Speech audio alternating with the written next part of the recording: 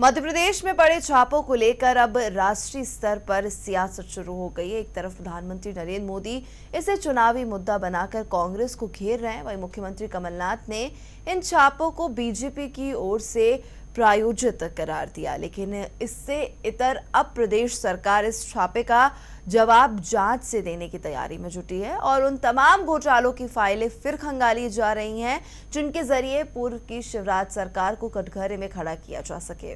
देखिए ये रिपोर्ट। आयकर के छापों पर सियासत शुरू। कांग्रेस भी जवाबी हमले की तैयारी में। कई मामलों में घिरेगी पूर्व सरकार। कई घोटालों की शुरू होगी जाँच। बड़ा सवाल, क्या मध्य प्रदेश बनेगा? बदलापुर। जी हाँ, मुख्यमंत्री कमलनाथ के करीबियों पर आयकर छापे की कार्रवाई के बाद अब राज्य सरकार भी जवाबी हमले की तैयारी कर रही है। दरअसल आयकर विभाग ने अलग अलग शहरों में छापे मारे थे, जिसमें सीएम के करीबी अफसर, उनके रिश्तेदार और सत्ता के गलियारों का बड़ा लाइजनर शिकंजे में कसे थे। भोपाल में इसी लाइजनर के पास से करोड़ों की रकम बरामद होने के बाद सवाल उठने लगे थे। ऐसे में कांग्रेस ने पहले तो यही सफ़ाई पेश की कि ये सब मोदी के इशारे पर किया जा रहा है, ताकि चुनाव के मुद्दों को डायवर्ट किया जाए।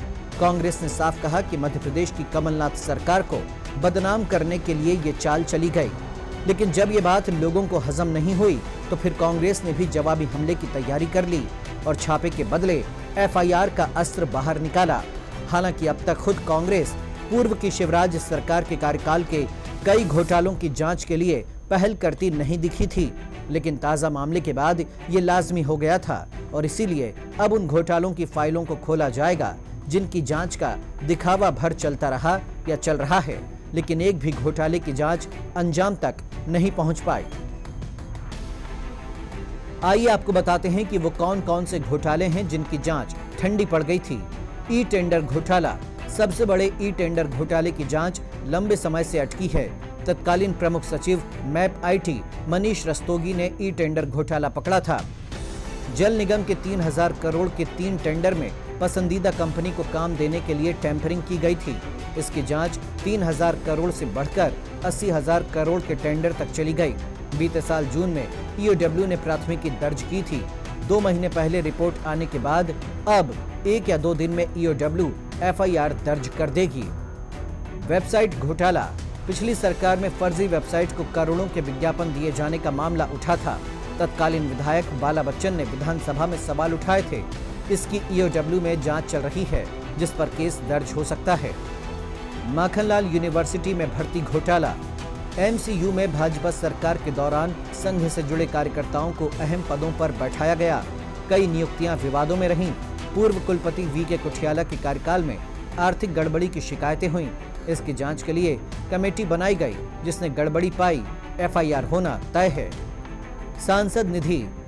प्रदेश में सांसद निधि के मनमाने तरीके से खर्च की शिकायत लोकायुक्त और ईओडब्ल्यू में की गई। कुछ भाजपा सांसदों ने सांसद निधि को नियमों के परे जाकर खर्च करा था। ईओडब्ल्यू की जाँच में एफआईआर दर्ज करने लायक सबूत हैं। दरअसल कांग्रेस ने अपने घोषणा पत्र में इन घोटालों समेत व्यापक घोटाले को मुद्दा बनाते हुए निष्पक्ष जाँच की बात कही थी। साथ ही दोषियों को न बख्शने का भी ऐलान किया था। लेकिन सरकार बनने के चार महीनों के बाद भी कांग्रेस ने इन घोटालों का ज़िक्र नहीं छेड़ा।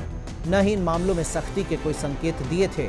इधर बीजेपी ने जैसे ही आयकर के छापों को भुनाना शुरू किया तो कांग्रेस का गुस्सा बढ़ना लाजमी था। मंगलवार को पीएम मोदी ने चुनावी सभा के दौरान इन छापों का ज़िक्र करते हुए कांग्रेस पर जमकर भड़ास निकाली। मध्य प्रदेश में सरकार बनी। अभी छह महीने नहीं हुए हैं, लेकिन इनकी मास्टरी देखिए, इनकी कलाकारी देखिए।